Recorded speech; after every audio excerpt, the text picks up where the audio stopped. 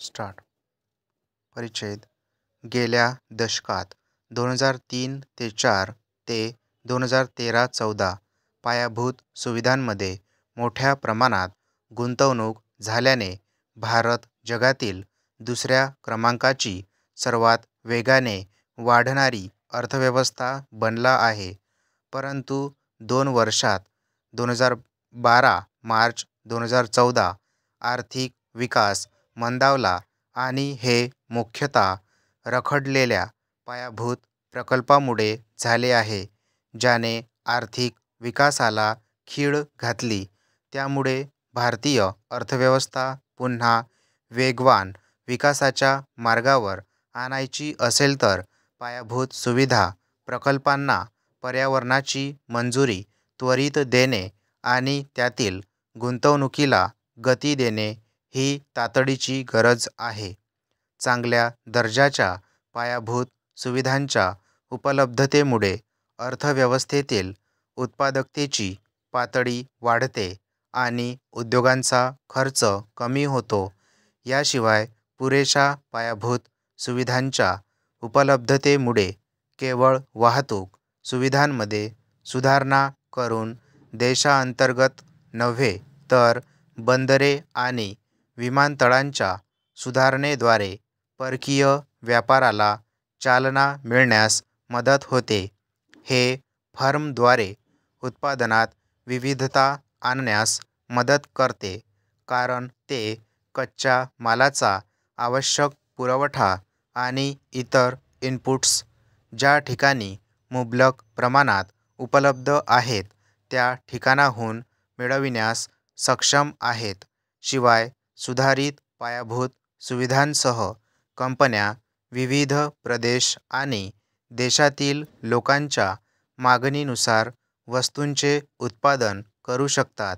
जागतिक बँकेच्या अंदाजानुसार सन दोन हजार आठमध्ये विकसनशील देशांनी वाहतूक, ऊर्जा, पाणी, स्वच्छता, दूरसंचार, सिंचन अशा नवीन पायाभूत सुविधांमध्ये वर्षाला सुमारे पाचशे अब्ज डॉलर्सची गुंतवणूक केली.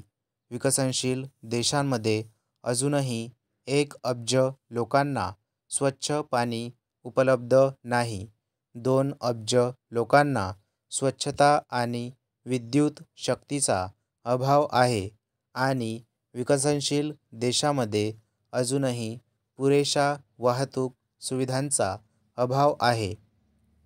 सर्वसाधारणपणे, पायाभूत सुविधांच्या महत्त्वावर चर्चा केल्यानंतर, आता आपण देशाच्या आर्थिक विकासासाठी क्षेत्र-विशिष्ट पायाभूत सुविधांच्या महत्त्वापेक्षा कमी चर्चा करतो. एक रस्ते वाहतूक परिच्छेद रस्ते वाहतूक ही आणखी एक महत्त्वाची पायाभूत सुविधा आहे जी माल, कच्चा माल आणि इंधन यांच्या वाहतुकीसाठी आवश्यक आहे. वाहतुकीच्या उपलब्धतेमुळे कृषी व औद्योगिक उत्पादनांच्या बाजारपेठेचा विस्तार होतो व त्याद्वारे उत्पादकां उत्पादकांना मोठ्या प्रमाणावर उत्पादन करता येते व मोठ्या प्रमाणात अर्थव्यवस्थेचा लाभ घेता येतो. याशिवाय, वाहतूक विकासामुळे उत्पादनासाठी अधिक क्षेत्रे आणि संसाधने खुली होण्यास मदत होते. देशाच्या काही भागात विपुल प्रमाणात जंगले आणि खनिज संसाधनांचा साठा असू शकतो, परंतु ते उत्पादनासाठी अबाधित राहतात कारण ते दूरस्थ आणि वाहतुकीच्या माध्यमांद्वारे दुर्गम असतात. अशा प्रकारे, या मागास प्रदेशांना रस्ते आणि रेल्वे च्या बांधकामाशी जोडण्याची गरज आहे, जेणेकरून त्याचे न वापरलेले खनिज आणि वनसंपत्ती उत्पादनासाठी वापरली जाईल.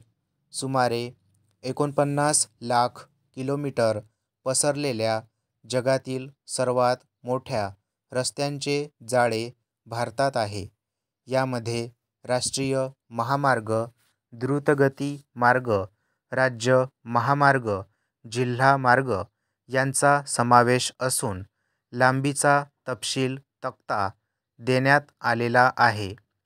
गेल्या काही वर्षात राष्ट्रीय महामार्गांच्या विकासात आणि ग्रामीण रस्त्यांच्या विकासात काही प्रमाणात प्रगती झाली आहे परंतु त्यासाठी अजून बरेच काही आवश्यक आहे.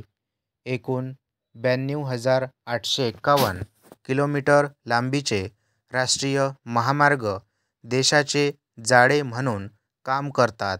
राष्ट्रीय महामार्गांचा विकास ही केंद्र सरकारची जबाबदारी असून राष्ट्रीय महामार्ग विकास प्रकल्पाच्या विविध टप्प्यांच्या माध्यमातून एकूण चौपन्न हजार चारशे अठ्ठ्याहत्तर किलोमीटरच्या यन यचचे अद्ययावतीकरण व मजबूतीकरण करण्याचे बंधन घालण्यात आले आहे.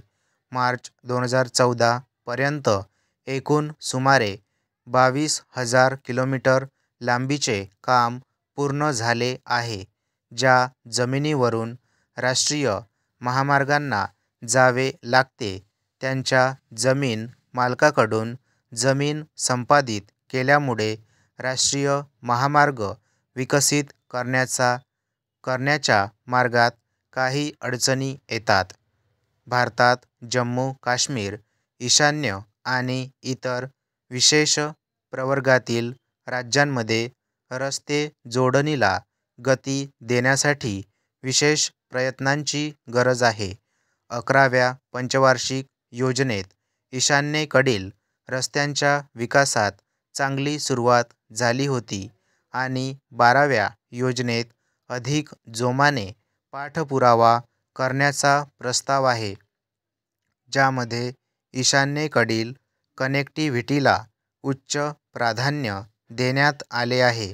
शिवाय आंध्र प्रदेश बिहार छत्तीसगड झारखंड मध्य प्रदेश ओडिशा आणि उत्तर प्रदेशातील डाव्या विचारसरणीच्या अतिरेकीपणामुळे प्रभावित झालेल्या जिल्ह्यांमध्ये रस्ते बांधणी आणि राष्ट्रीय महामार्गांचे अपग्रेडेशन या क्षेत्राच्या सर्वसमावेशक विकासासाठी काम हाती घेण्यात आले आहे.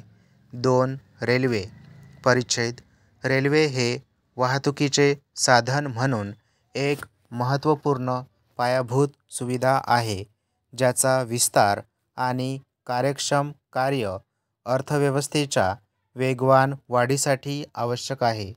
आपल्यासारख्या वाढत्या अर्थव्यवस्थेच्या मागण्यांसाठी रेल्वेने आपल्या मालवाहतुकीचे जाळे विस्तारणे प्रत्येक वॅगनमागे अधिक वजन वाहून नेण्याची क्षमता वाढविणे आणि जलद गतीने वितरणासाठी रेल्वे यंत्रणेची कार्यक्षमता वाढवणे आवश्यक आहे.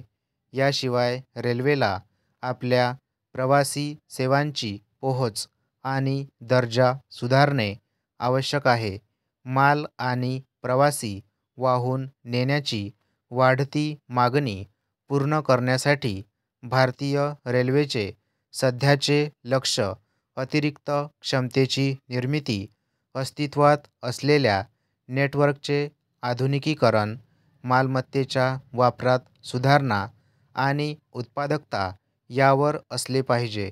या व्यतिरिक्त त्याच्या सेवांच्या गुणवत्तेत सर्वांगीण सुधारणा घडवून आणण्यासाठी त्याच्या रोलिंग स्टॉकचे आधुनिकीकरण आणि देखभाल पद्धतीवर लक्ष दिले पाहिजे. स्टॉक